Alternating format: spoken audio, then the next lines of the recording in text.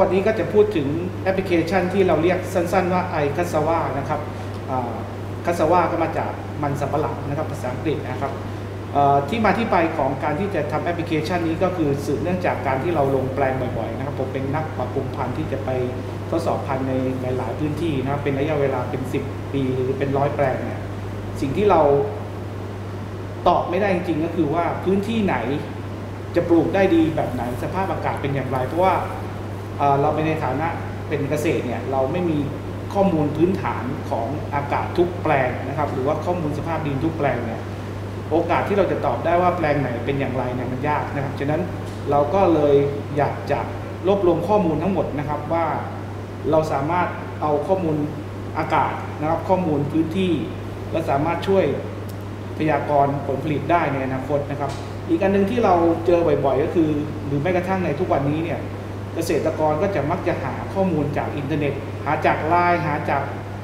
เฟซบุ๊กหรือหาจากเว็บไซต์ต่างๆนะซึ่งเป็นข้อมูลที่อยู่กระจัดกระจายเนาะเราก็มองว่าถ้าเรามีแพลตฟอร์มหนึ่งหรือแอปพลิเคชันสักแอปพลิเคชันหนึ่งเนี่ยที่สามารถรวบรวมองค์ความรู้ที่ได้ถูกเขาเรียกว่า verify หรือถูกถูกเขาเรียกตรวจสอบแล้วว่ามันมันถูกต้องเนาะแล้วก็เกษตรกรก็สามารถมาดูได้ในที่จุดจุดหนึ่งแล้วก็ข้อมูลข่าวสารต่างๆเนี่ยผมว่า มันก็จะช่วยตอบโจทย์ให้เกษตรกรผู้ปลูกมันสำปะหลังเนี่ยก็ลดระยะเวลาแล้วก็ได้ข้อมูลที่ถูกต้องมากขึ้นนะครับนี่ก็เป็นที่มาที่ไปที่เราอยากเห็นมีแอปพลิเคชันแบบนี้ในในทางการเกษตร หรือในที่จะช่วยเหลือเกษตรกรให้ปลูกพืชได้อย่างมีประสิทธิภาพมากขึ้น แล้วก็ได้คุณภาพสุดท้ายก็ได้ค่าตอบแทนนะครับที่สูงขึ้น แต่อย่างไรก็ตามเนี่ยพอเรามีความคิดแบบนี้แล้วเนี่ย สิ่งที่เราจะทำเนี่ยมันเราทำไม่ได้ด้วยคนเดียวนะครับ เราก็จะมีเพื่อนๆหรืออาจารย์ที่เคยทำวิจัยร่วมกันมานะครับ เราก็เลยคุยกันระหว่างคณะเกษตรนะครับคณะวิทยาศาสตร์ และคณะวิศวกรรมศาสตร์นะครับว่าเอ๊ะถ้าเรามีไอเดียแบบนี้เนี่ยเราจะทำแอปพลิเคชันแบบไหนได้บ้างนะครับก็นี่คือที่มาที่ไปของแอปพลิเคชัน iCassava ในครั้งนี้นะครับในส่วนของแอปพลิเคชันนะคะก็คือ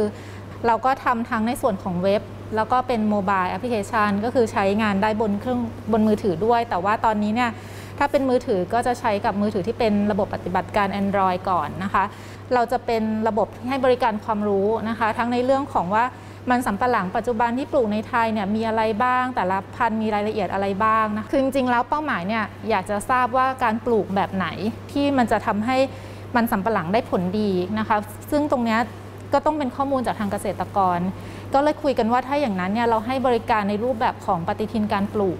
ที่เกษตรกรสามารถที่จะเลือกได้ว่าถ้าเขาปลูกวันนี้ ปฏิทินก็จะมีการปรับให้มันเหมาะ ซึ่งตรงนี้จะทำแบบตามตามความรู้ที่ทางคณะเกษตรให้ไว้ แต่ว่าเราอยากได้ข้อมูลย้อนกลับจากเกษตรกรว่า ถ้าเกิดว่าเกษตรกรปลูกแบบนี้แล้วเนี่ยผลลัพธ์มันเป็นยังไง ให้ปริมาณแป้งให้ปริมาณผลผลิตเป็นเท่าไหร่ เราก็มีกลไกในการที่จะเก็บข้อมูลกลับจากเกษตรกรว่าเขาทำตามไหมหรือเขาไม่ทำตามตรงไหนอะไรเงี้ยค่ะ แล้วสุดท้ายแล้วเนี่ยได้ข้อได้ผลผลิตเป็นเท่าไหร่ แล้วก็จะมีส่วนที่ให้บริการข่าวสารนะคะ ซึ่งระบบเนี่ยจะไปดึงข่าวทั้งหมดจากกระทรวงเกษตรนะคะแต่ว่าทุกกรมเลยที่เกี่ยวข้องกับมันสำปะหลังรวมไปถึงราคาด้วยนะคะ เพราะฉะนั้นใช้แอปพลิเคชันนี้อันเดียวก็ได้ข่าวทั้งหมด สามารถเข้ามาดูข่าวเกี่ยวกับมันสำปะหลังได้เลยนะคะ แล้วก็มีส่วนที่เป็นเว็บบอร์ด ให้มาพูดคุยกันแลกเปลี่ยนสอบถามคำถามนะคะ ก็จะมีทีมอาจารย์ที่เป็นผู้เชี่ยวชาญคอยตอบคำถามให้ เราก็มีส่วนที่ถ้าเกิดถามคำถามซ้ำเดิมเนี่ยเราสามารถเอาคำตอบที่เคยตอบมาแล้วมาตอบให้ได้เลยด้วยนะคะทำให้เกษตรกรก็ไม่ต้องมานั่งรอว่าเมื่อไหร่จะตอบคำถามสักทีนึงอะไรอย่างเงี้ยค่ะเราก็จะมีส่วนที่อาจารย์ปิยะทำเป็นคำถามที่พบบ่อยสำหรับผู้ที่ปลูกมันสำปะหลัง ตรงนี้ก็จะทำให้เขามองเห็นว่าเอ๊ะคำถามไหนที่เกษตรกรมักจะสงสัยกัน ถ้าเราสงสัยแล้วก็เข้าไปดูตรงนี้ได้เลยอะไรอย่างเงี้ยค่ะเพราะมันก็จะเป็นแอปพลิเคชันที่เน้นในเรื่องของการให้บริการความรู้เป็นหลักเลยสำหรับสำหรับเวอร์ชันแรกเนี้ยนะคะ คือในส่วนของดาวเทียมนะครับ จุดเริ่มต้นก่อนทำไมเราต้องการใช้ภาพถ่ายดาวเทียมนะครับ ตรงนี้ก็คือเราต้องการสร้างเครื่องมือบางอย่างในการติดตามการเจริญเติบโตและความแข็งแรงของมันสับปะหลัง คราวนี้การที่เราจะ สร้างเครื่องมือตัวนี้เราต้องมีข้อมูลมาฉะนั้นในในแง่ของข้อมูลเพื่อเอามาเข้าสิ่งที่เราเรียกแบบจำลองเพื่อให้ได้ผลเป็นว่าตอนนี้แปลงเจริญเติบโตดีไม่ดีเนี่ยนะครับ การที่เราต้องส่งคนไปเก็บข้อมูลในแปลง หรือว่าให้เกิดซองเก็บส่งมาให้เนี่ยมันเป็นอะไรที่ค่อนข้างลำบากนะครับ เพราะฉะนั้นเนี่ยมันก็คงวิธีการที่เราสามารถทำได้โดยที่ไม่ต้องใช้คน ซึ่งในรวมพื้นฐานมันก็จะมี 3 แบบหลักๆ ก็คือ อาจจะเอาเซ็นเซอร์ไปติดที่แปลง ซึ่งจำนวนเซ็นเซอร์อาจจะต้องเยอะค่าใช้จ่ายก็จะสูง หรือว่าเราจะใช้โดรนในการบินนะครับ ซึ่งก็จะมีประเด็นเรื่องค่าใช้จ่ายกับตัวโดรนอยู่นะครับในในนี้เนื่องจากมันเป็นโปรเจกต์แรกเราก็จะเอาวิธีการที่คิดว่าน่าจะง่ายสุด แล้วก็เหมือนกับประหยัดสุดในที่นี้คือใช้ภาพถ่ายดาวเทียมนะครับเราก็จะตกลงว่าเราจะใช้ภาพถ่ายดาวเทียมนะครับเป็นเพื่อเป็นข้อมูลในแปลงแล้วเอาตัวนี้มาสร้างโมเดล ในการพยากรณ์ คราวนี้เราก็ไปดูว่าดาวเทียมไหน เราก็มีคำแนะนำจากหน่วยงานอย่างเช่น GISTDA นะครับ แล้วก็ไปเอาข้อมูลจากดาวเทียมตรงนั้นมา แล้วเราก็ไปค้นหาเอาข้อมูลเกษตรกรในอดีตเราข้อมูล 2 อย่างนี้มารวมกัน แล้วเอาข้อมูลนี้มาวิเคราะห์ แล้วก็เอาผลวิเคราะห์ทั้งหมดเนี่ยครับมาทำเป็นโมเดล เพื่อใช้ในการพยากรณ์ โดยที่ผลพยากรณ์เนี่ยณในโปรเจกต์ที่ผ่านมาก็จะบอกว่าผลพยากรณ์ในแต่ละเดือนเนี่ย ผลผลิตในแปลงเราคาดว่ามันมันดีไหมไม่ดีไหมนะครับในดีแปลว่าตอนนี้มันแปลว่าการเจริญเติบโตกับความสมบูรณ์น่าจะดี ถ้าไม่ดีก็คือไม่ดีนะครับหรือว่าเราจะบอกว่ากลางๆ หรือว่ายังไม่แน่ใจ ในส่วนของคณะวิทยาศาสตร์จริงๆแล้วเนี่ยก็คือเหมือนเราเป็นหลังบ้านในเชิงของความรู้ก็คือว่าองค์ความรู้ที่คณะเกษตรมีเนี่ยแม้จากการทำงานกับเกษตรกรการลงแปลงของเราเนี่ยก็จะมองในเรื่องของ